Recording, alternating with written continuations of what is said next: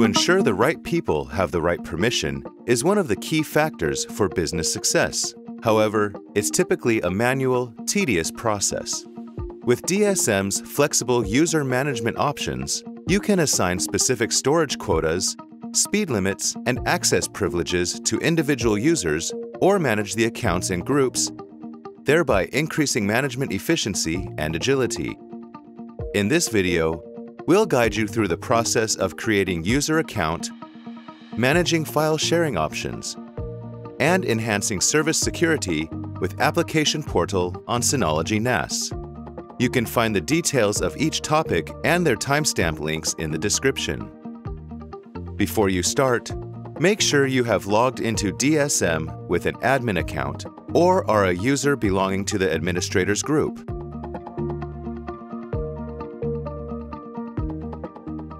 First, go to Control Panel, User. Click Create, and the User Creation Wizard will show up. On the User Information page, enter a name, brief description, and an email address for the user. System notifications, such as password reset messages, are sent to the address specified here. Then, type in the password you wish to assign to this user, or simply click Generate Random Password.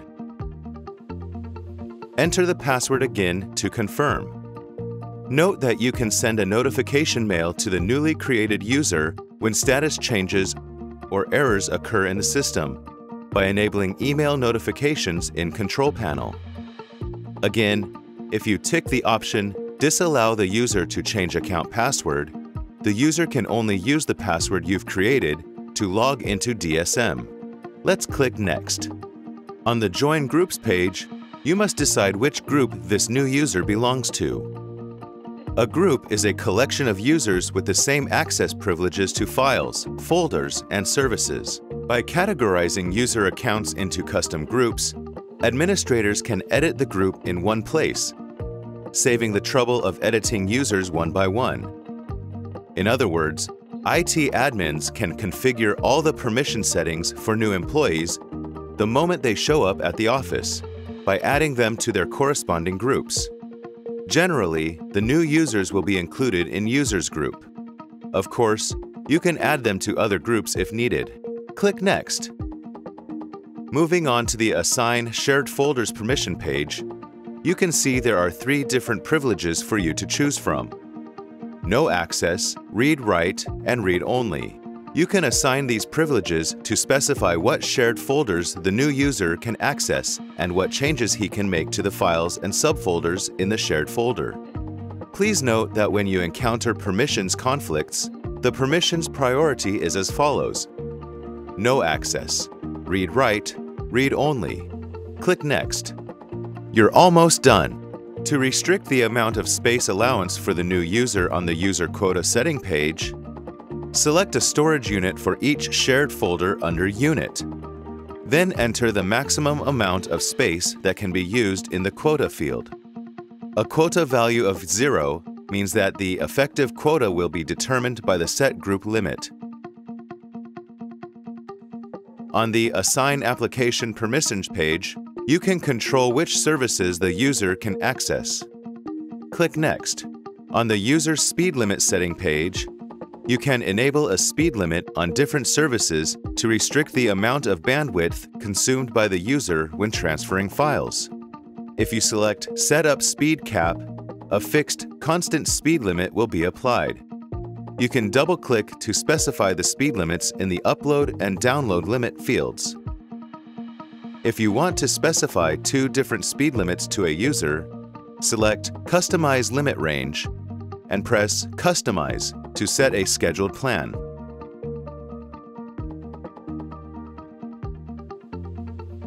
The group speed limit settings will be the default settings for the users under this group.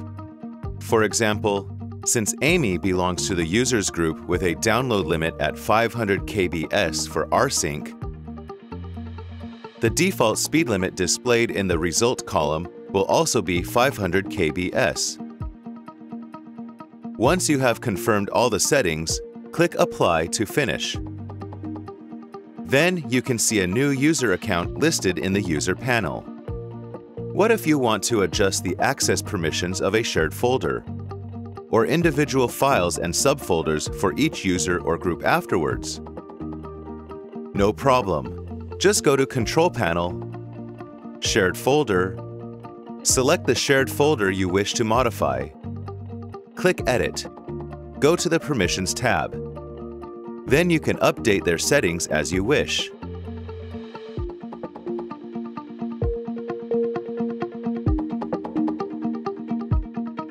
What's more, to help businesses simplify the process of defining a bunch of rights and permissions, Synology NAS allows users to fine-tune and set multiple rules to manage the privacy of files and folders using ACL. So what is ACL? Access Control List, ACL, is a list of access control entries, ACE, attached to an object, such as a file, folder, or program in the Windows environment. Each entry in an ACL determines a user's or group's access permissions to the object. For example, if a file Sales and MK Report is attached with the following ACL entries, Sales read only, MK read write, and Engineers no access. Any users belonging to the MK group will have permission to modify the file.